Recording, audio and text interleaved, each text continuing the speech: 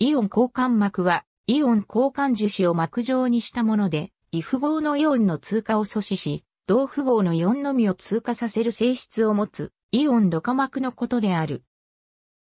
イオン交換膜という言葉からは、イオンの交換が目的であるかのように誤解されやすいが、イオンのろ過が目的である。非イオンだけを通過させる非イオン交換膜と、影イオンだけを通過させる影イオン交換膜がある。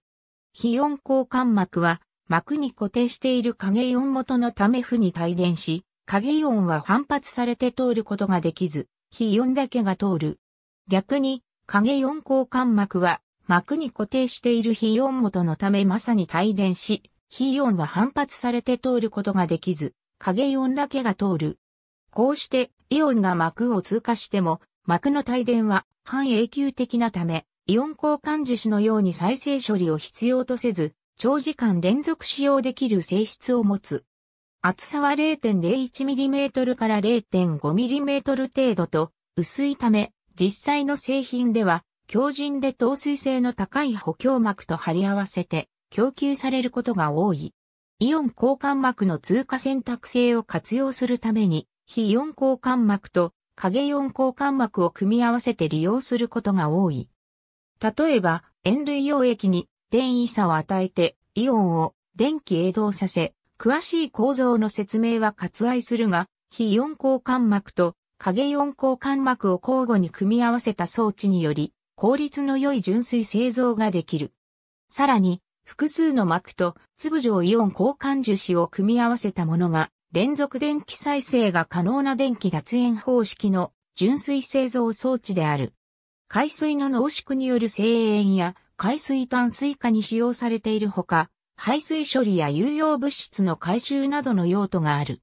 用途が近い逆浸透膜との大きな違いは、イオン交換膜はイオンを通過させるが、水はほとんど通過させない点にある。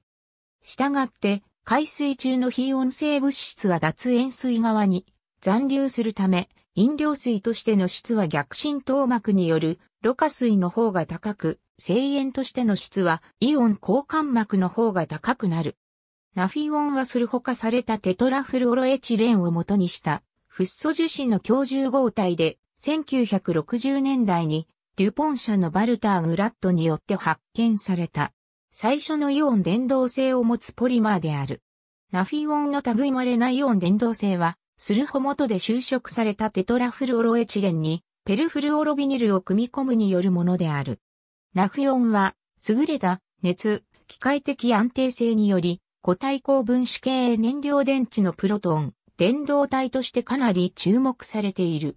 ナフィオンの優れた導電特性の科学的特徴に研究の焦点が当てられた。SO3H グループ上のプロトンは持ち上げられる。影イオンや電子は膜内を移動せず非イオンだけ移動する。ナフィオンの一般的な分子構造純水製造、海水淡水化、化学工業での物質生成や固体高分子系燃料電池の電解質などに用いられている。ありがとうございます。